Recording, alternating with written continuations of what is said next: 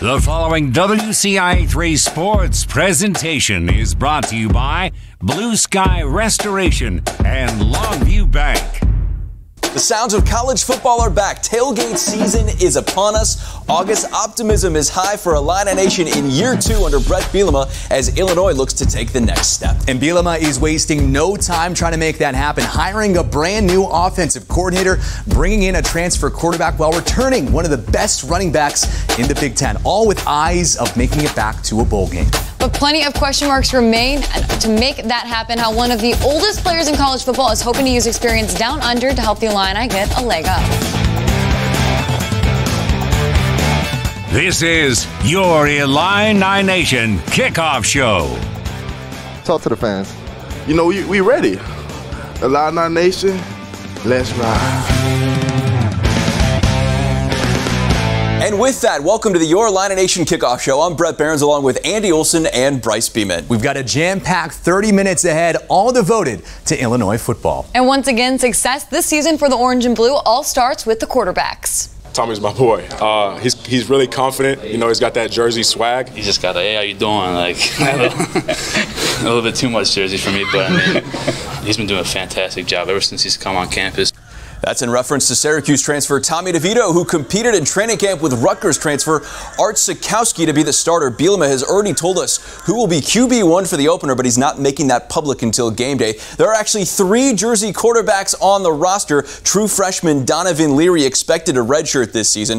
Art Sitkowski, as we mentioned, the Rutgers transfer, he is fully recovered from two separate injuries after shoulder surgery on his throwing arm and a broken wrist on the other. And this will be Tommy DeVito's final season at college football, Andy. He's the favorite to land the starting spot and says he's ready to prove what he can do after playing in 24 games over three seasons with the Orange. Both guys bring plenty of experience to the table.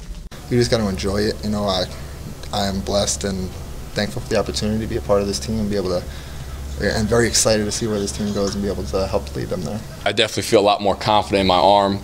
Um, I feel great. You know, I can, I can throw it how I, I want to. You know, uh, last year was tough for me and kind of had to know my limitations in a way, but that's there's no more limitations. I can just let it rip now. Tommy, Art, and Donovan are the only three scholarship quarterbacks on the roster. The man behind a new look Illini offense, Barry Lunney Jr. Bielema fired offensive coordinator Tony Petersen after just one season in Champaign and goes with the guy he knows well in Lunney. He was Bielema's tight ends coach at Arkansas. Lunney actually beat Bielema and the Illini last season in Champaign as the OC at UTSA. The Roadrunners were 11th in the country in scoring. Illinois was 115th. Now it's Lunney's job to get the Illini offense back on the map.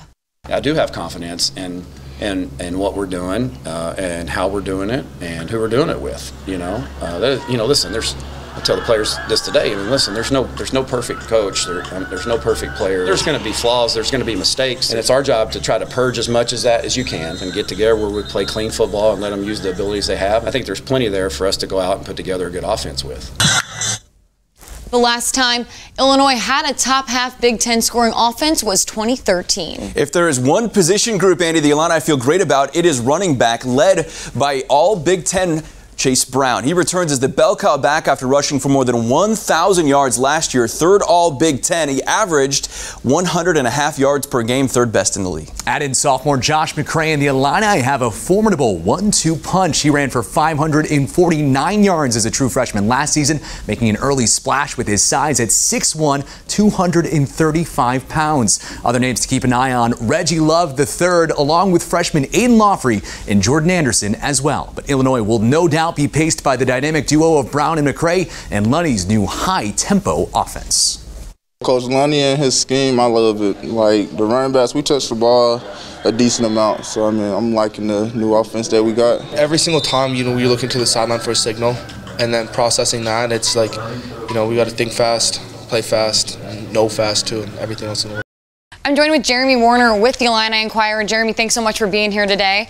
But We have a lot to talk about, a lot on offense. We're going to see maybe a little bit of a quarterback competition going on. Bielema says he knows who the starting QB is. Who, who do you think we're going to see starting on Saturday against Wyoming? Yeah, Bielema won't tell us, but I think every indication is it's Tommy DeVito. The Syracuse transfer was brought here to be the guy. He has a lot of experience. He was here all spring, got most of the first team reps, and from what I've heard, he's gotten most of the first team reps uh, during the fall as well. So, you know, Bret Bielema playing a little poker, hiding his cards close to his vest, but I think he said today even that Art Uh, has handled this well, bringing in the transfer, and he just wants the best of what's for Illinois. And I just think Ty, uh, Tommy DeVito just gives him a more dynamic quarterback. He's able to run the ball a little bit better, stronger arm than Art Sitkowski. So, and he also just has a swagger to him that I think these players and coaches have really gravitated towards.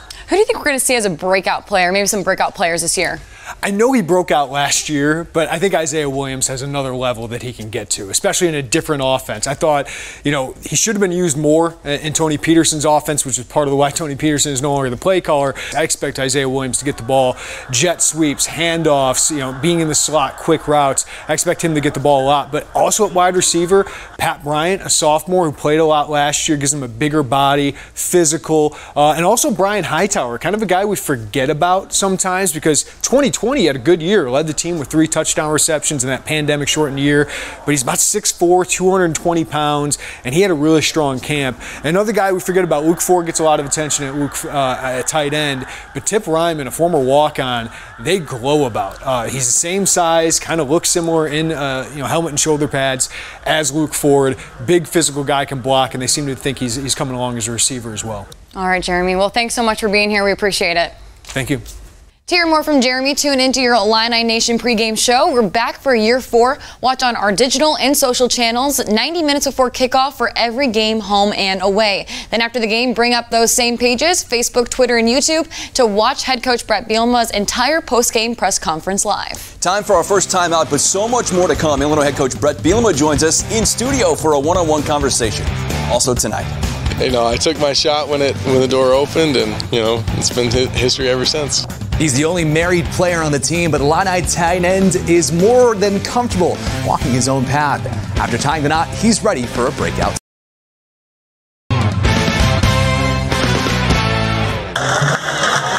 Four captains will lead the Illini out of the field this season. Receiver Isaiah Williams, offensive lineman Alex Palczewski, defensive back Sidney Brown, and linebacker Tarique Barnes.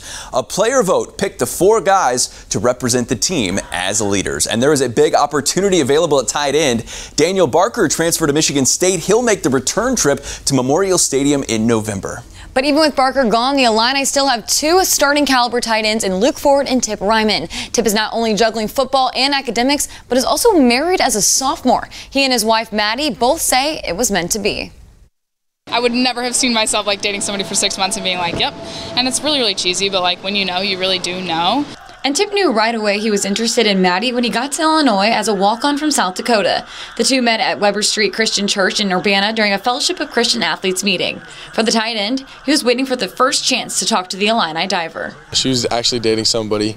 Um, when I when I met her. So I was kind of like getting my foot in the door, you know. here's uh, here's me, you know. Whenever you're ready. So you know, I took my shot when it when the door opened, and you know, it's been history ever since. The two were married at the same church they met at on March 13th. Finding time to see each other is challenging, with Maddie working as a diving coach at Centennial and for the Fighting Illini, and Tip juggling football and school but they make the most of their opportunities together. I think that's a big thing is is just making the most of the little moments you get and being present in, in those is, is a big thing for us. We didn't want to spend any more time apart and we wanted to we wanted to spend every day that we can together. You never know what days are going to be your last. Being the only married man on the team, head coach Bret Bielema says the former walk-on is playing with more confidence this year and a bigger role on the field. He comes in and talks to me all the time about coaches and married being great. I go, absolutely, uh, Tip. Um, for him and who he is and where he's at at that moment, like it helps him kind of solidify himself a little bit, and he's definitely playing really good football. Tip was a walk on his freshman year, but earned a scholarship last fall, adding he's so grateful that the school not only gave him this chance to play, but that coming here also led him to his wife as well. The defense took a huge jump last season under coordinator Ryan Walters, going from 97th scoring defense in the country in 2020 to 29th last fall. Walters has certainly gained the respect of his players and fellow coaches. He also got paid and a contract extension as a result, making more than a million dollars a year now. This year's group has to replace several guys now in the NFL, including third round draft pick Kerby Joseph, along with undrafted free agents Tony Adams, Jake Hansen, Rod Perry, Owen Carney, and Khalan Tolson. Walters says the key to working new guys into the mix is communication. It's going to take all 11, and all 11 need to be on the same page.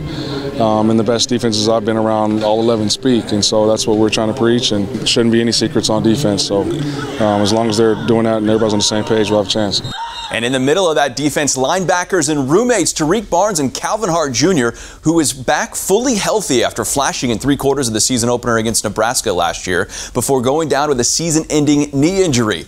The North Carolina State transfer says he's ready to roll after the adversity of getting hurt last season it's a process with everything, and I learned, you know, with that whole process, you know, of getting hurt, just to be patient. You know, don't rush anything. So I've, I've learned just to take, just, just take every day as a blessing. Oh, we just gotta keep working. You know what I'm saying? We just can't be satisfied with what's going on or what we did.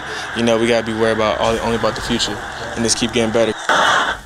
And that future that Calvin is talking about is very bright as this defense had a great year last year. Robert Rosendahl from IlliniBoard.com joining me now here in studio. Let's talk about that defense, Robert, where the base of it, besides one or two players in the depth chart, was truly from that last staff before Bret Bielema got here. And really, this staff has done a good job of building them and helping them reach their potential. Yeah, and it's interesting because they didn't you know, it's a different scheme. They had defensive ends, not these outside linebackers who are dropping into coverage sometimes. So they were able to fill the gaps last year and, and hopefully can, you know, are looking to do the same this year. What do you make of that consistency for the defense? Getting that same messaging back again, having everyone back from year one as they try to improve in year two? I mean, we've talked about it for decades, it seems, that you know, Illinois for 20 years has been trying something a little different each year. And oh, maybe we'll add a, a fourth, uh, a fifth linebacker here, two outside, two inside, maybe a floater. Maybe we'll do this. Maybe we'll do two defensive linemen. Maybe we'll get a new safeties coach. Uh, it's it's quite interesting how there's been an emphasis on that this year of like we're going to stay with this, we're going to stay with these schemes, we're going to stay with these coaches, and we're going to keep moving that way. I would say on social media, specifically on Twitter, you have your finger on the pulse of the fan base. What have you made on just overall the fans' reactions to everything we've talked about? I think there is definitely more fan buy-in than say uh, Tim Beckman after his first year. It was a two and ten year.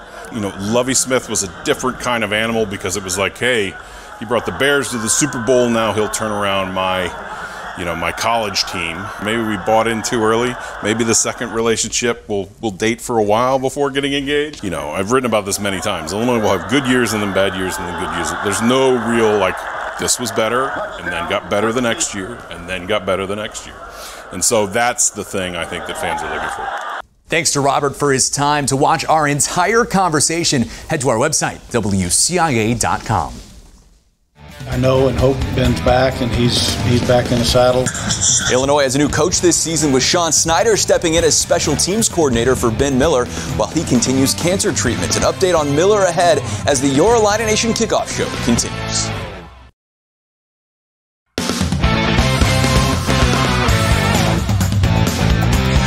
Coach Bret Bielema joining us now in studio for the Your Illini Nation kickoff show. Bret, we're going to talk some about this season, but let's start out with something fun. What does game day look like for you from when you wake up? Do you have traditions? What kind of things go into that kickoff for you? Well, it depends on game time, right? Uh, I think everybody. It, and I know the fans don't love them, but I think if you ask players and coaches, they love the 11 o'clock kickoff, right? Because you just you get up, you get rolling. But I usually just kind of just rehearse the game. A lot of times I'll put clips of a game that, that aren't related to one another to make a new game, right? So it's a game that you've never seen before, and kind of test your calls, test your uh, your moments of uh, football situations, and all those things. And how do you celebrate after a win? I know you're always on to the next. Yeah. But you, you get, do you do something after wins? I, I, do. I never really try to watch film on the day of the game. You know, win or lose. Um, I, I learned it early on in my career to celebrate every win as much as you possibly can. One of my most enjoyable things, honestly, is to leave the stadium uh, last year after Nebraska, I remember having that feeling, kind of just drive through uh, tailgating areas and see the people engaged, having fun, see them with their families, and, and realize that it's more than just a football game; it's an event, and I think that kind of makes it full circle. You went three and nine your first season at Arkansas. You turned it around the next year, seven and six. I know every season is different, Bret, but what parallels, if if any, can you take from just making that jump from one to two? The, the big one for me is just the little indicators that you see every day in your building. Uh, we had an end of game situation the other day where one of the most important elements is to give the ball to the official. And Tommy DeVito the other day, we were running an end of half uh, scenario, and he ran and handed the ball to the umpire. Tommy has learned, right, through the process that we've taught him to hand the ball to the official. And those are just little moments that, in the end, can be huge uh, moments in the, in the reality of a game. You said you wanted to be a developmental program. That takes time. Yeah. How difficult is it for you to be patient? And how much is depth a concern this season as you continue to build that? There's different types of things you can be, um, you know, uh, a little bit more lenient on how fast you need it done, right? But uh, there's certain elements that need to be done today. And I think as a head coach, I got to learn and, and kind of guide those things through my coaches. And then also players are different. You know, certain players can handle a, a mental load or a workload that other players can't. And, and you have to identify that as coaches. So that's my my challenge really with our coaches. And you're doing this for the first time, developing a program with the transfer portal. Yeah. What's the secret sauce? What's the recipe for finding the right transfer players? You know, it, it, it there is a there is an element to it that we were really, really guided in. The key is to find the special ones that fit our bracket, that fit our terminology, and that fit our our place cards, and then uh, hopefully find out if they're good players on top of it. We've heard you talk a lot about situational football. It's kind of your MO, right? Yeah. It's, it's, it's what you do. Has your philosophy changed, though, in that at all? You know, Bret, it's, it's, it's really about the player, right? Like, uh,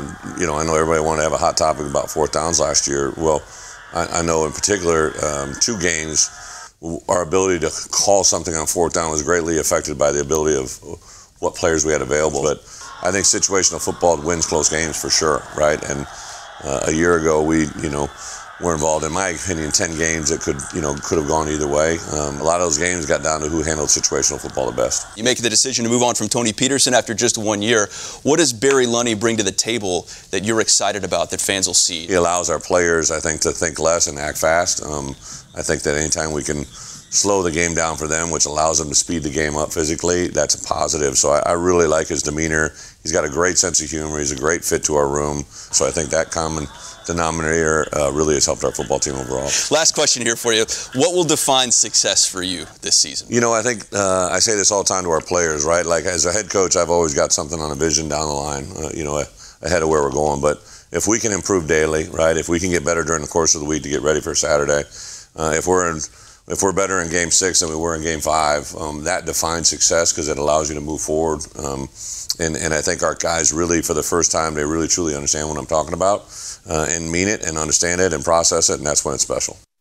Thanks to Bret for his time. To watch our entire 20 minute conversation, head to our website, WCIA.com. After our final break, we're back with a look at how one of the oldest players in college football is embracing his role in Orange and Blue. Plus, there are now eight players on the team from the WCIA 3 viewing area, and several have a chance to see the field this season.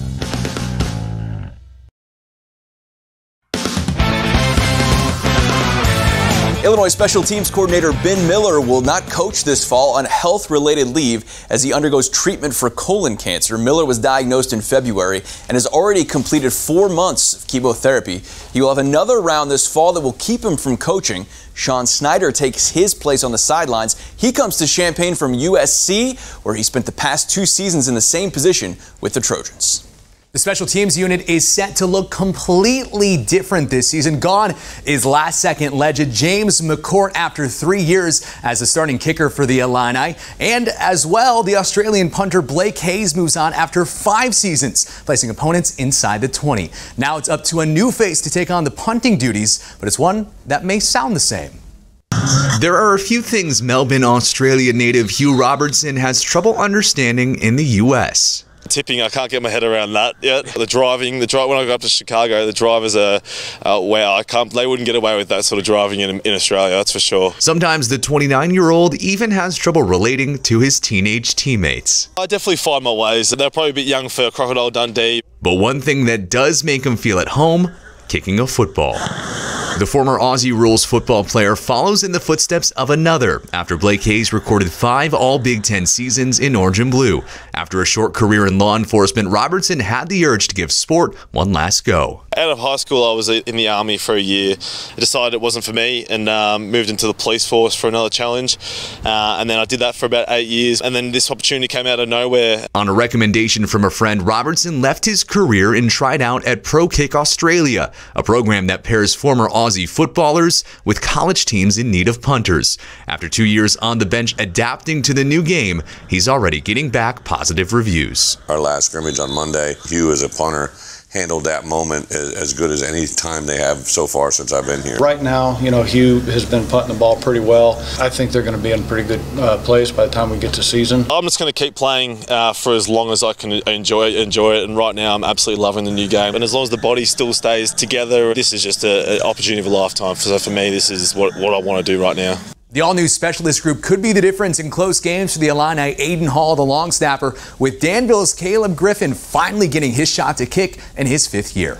And Griffin is one of eight Illini on the team this season from the WCIA 3 viewing area. He'll be in the starting lineup along with his former Vikings teammate, Julian Pearl. He will suit up at left tackle. Another set of former high school teammates are now in orange and blue. Gibson City Melvin Sibley's Bryce Barnes will be in the rotation on the defensive line with fellow Falcon grad Aidan Laughery looking to carve out a role as a true freshman. The last time they suited up together for GCMS, they won a state title at Memorial Stadium.